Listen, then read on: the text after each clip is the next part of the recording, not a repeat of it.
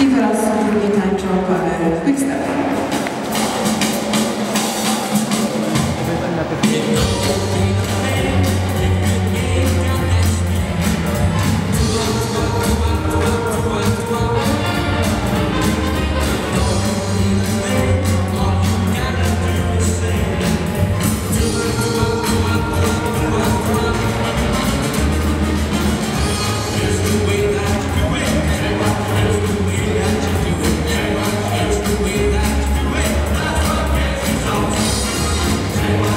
Thank you.